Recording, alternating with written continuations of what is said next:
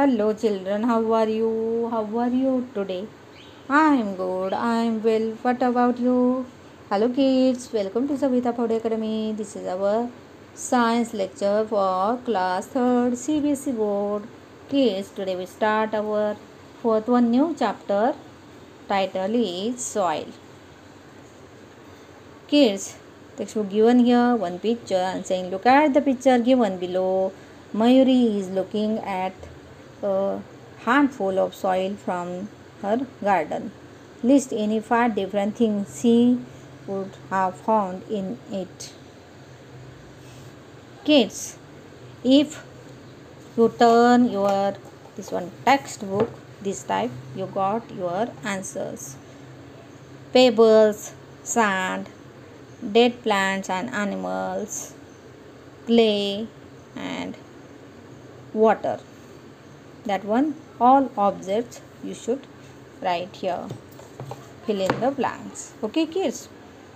Kids today is our first one chapter. Now come to the point. How soil is uh, a form let us how learn how soil is formed. First one soil is formed by the breaking down of rocks. The sun's heat the rain and the wind also help in the breaking down of rocks. The process of breaking down of rocks lasts for thousands of years. First one, this type rock, a very heavy and strong rocks.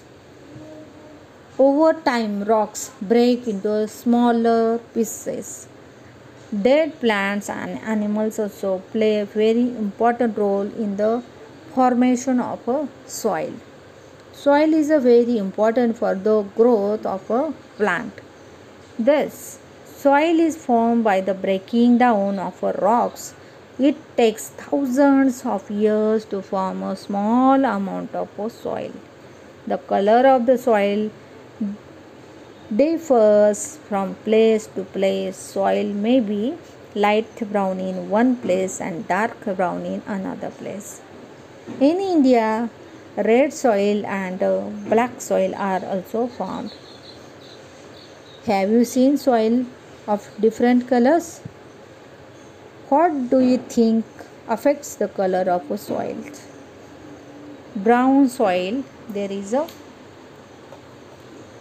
plants growing very well. You can see here different types soils. This one red soil this one black black this one brown and another one. Mixed soil here. Different colors of soils. Okay? Next one topic our what soil contains. Soil contains humus sand clay and pebbles Humus is made up of the remains of dead plants and animals. Humus holds the water and provides nutrients for the plants. It makes the soil fertile. It is usually dark brown or black. Clay consists of very fine powdered form of rock that feels smooth Sand is the grainy part and consists of a bigger particles of rocks.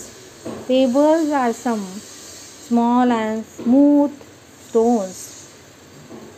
Word is remains means a small parts of a dead plant and animals and nutrients means a material present in soil which are used to plants and fertilizer means a soil is a said to be fertile when plants grow well in it. And this one uh, pebbles, tiny clay particles, sand particles inside there. This one uh, humus. Comparative size of a pebbles, clay and sand particles here. Next one topic our soil contains water. When some Garden soil is the heated in a container covered with a lid. Drops of water are noticed on the inside of the lid. This shows that soil contains water. The water in the soil forms vapor when heated. We all know vapor.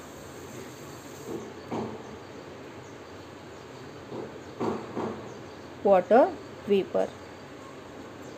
The vapor touches the lid and cools down to form droplets of water.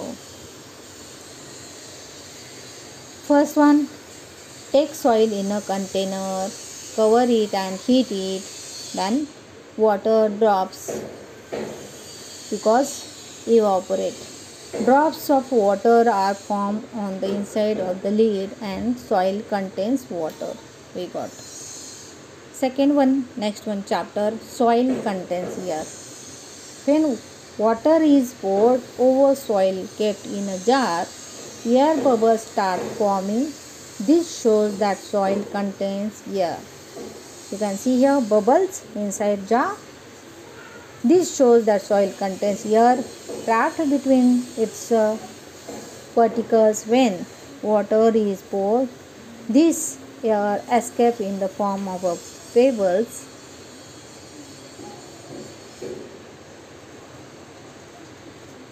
now we learn about uses of soil. Some uses of soil are as follows. Plants need soil to grow. They take in water and nutrients from the soil. Forms grow crops in the soil they make the soil fertile by adding manure. Crops grow well in a fertile soil. Without soil, plants would have no place to grow. Plants are eaten as food by humans and animals. Manure means animal wastes that are mixed with soil to help plants grow well. Farmer grows crop in soil. You can see here how beautiful crops here. Without soil, how this one farmer grow crops? It's not possible. Soil is home to many animals, earthworms, Beetles, ants, and snails are some animals that live in a soils. Earthworm, snails, see here inside earthworms. This one earthworms, snails, here snails, and ants live in a soil. See, and they make a they fertilize soil. Okay, kids.